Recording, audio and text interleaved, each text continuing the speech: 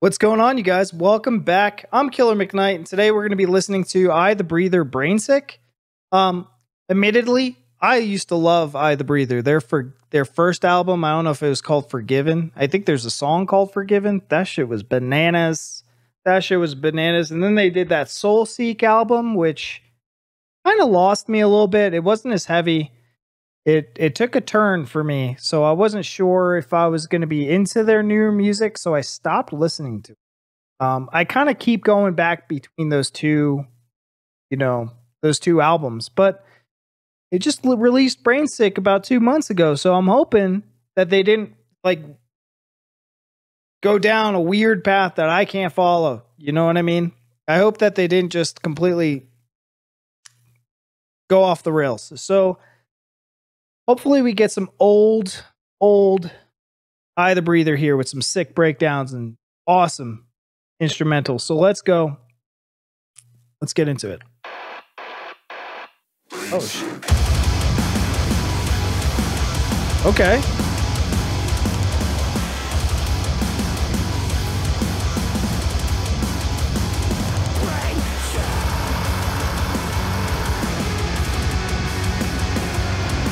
I'm picking up what you're putting down, boy.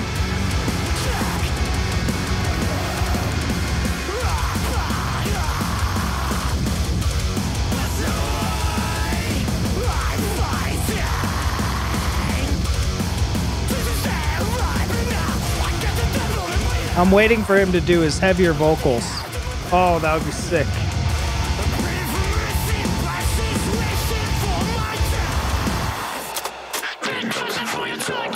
Let's go.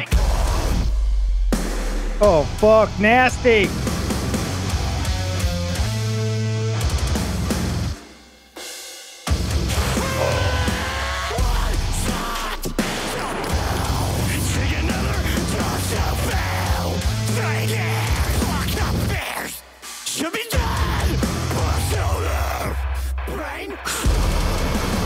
Oh, fuck. Chills, my dudes. Chills. Wearing a jacket.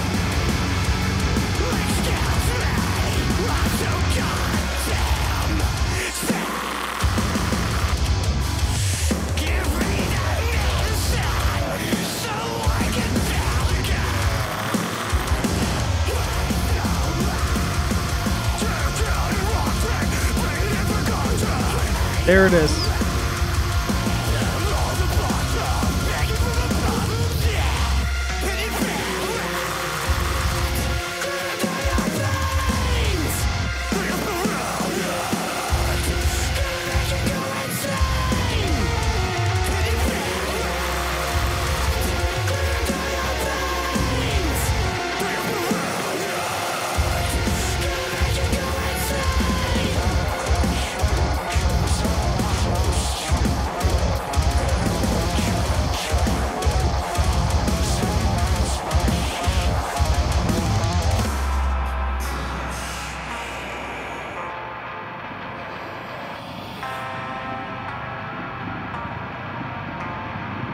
Okay. God, give it to me, please.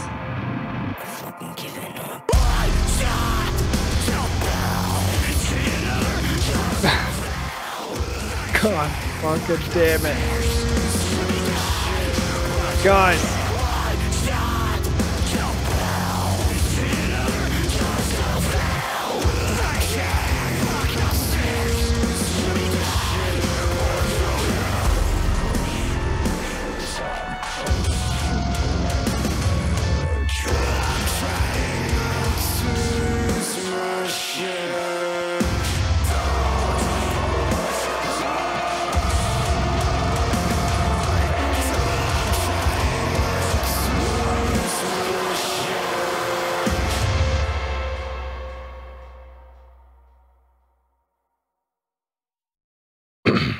Sick.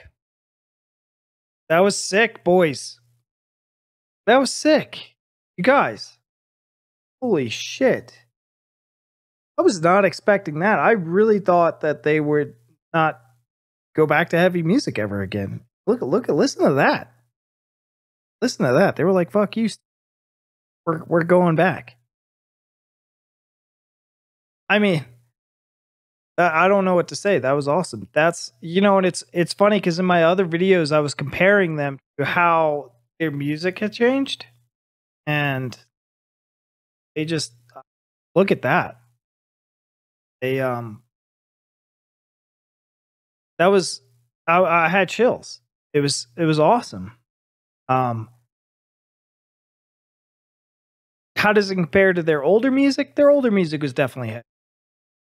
Definitely heavier. It had a lot more um I would say breakdowns, just more distinct breakdowns. Like these breakdowns were good. Don't get me wrong. They were fantastic. I don't, I don't know, man. It, it was very heavy. Heavy. And I like that. I think that in the middle of the song, I want to say like two minutes in, where it was kind of like lulling a little bit, but I mean, it was still sick. And I, I just wish that the vocalist did more of his mid mid screams or low screams a little bit more. Um, I know a lot of bands are just doing this like high screaming. Like I love the death. That fucking I, am not going to do it, so I'll sound like. But you guys know what I'm talking about. Mid growls, mid vocals. That's where I live at. Um, man, that was real. That took me for a surprise, you guys. Um, I I'm really happy to see that they've not like did what Northlane did, you know, and they they really committed to this song, and I'm really happy about that. That was sick. Let me know what you guys think in the comments. It, you know, I feel like I might come off as if I'm criticizing a little too hard. Like, you know, who are you? But it, it's not. It's not that I'm criticizing. I don't think I'm criticizing. I hope I'm not. That's not how I'm trying to come off as. But I'm just. And I don't want to say that I'm disappointed either. I don't know what I'm trying to say. There's just. This song had it for me. This song, you know, after doing a, a couple of reactions of bands that I used to listen to, just kind of fall completely off and then to see I the Breather um do this it's it's awesome. I'm really happy. I might actually look into more songs off this album and see if I'll buy it.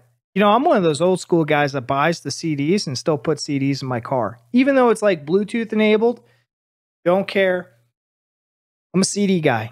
It's weird. It's super weird. And I think a lot of that is because I don't want to pay for a subscription Spotify. Pandora. I don't know. I, I never got into the like free radio, thing, but um. Anyways, you guys, let me know in the comments if you have any other music that you want me to check out, and uh, what you thought about this. Uh, do you feel the same way? Am I the only one? But anyways, thank you so much, and we'll see you in the next video. Bye.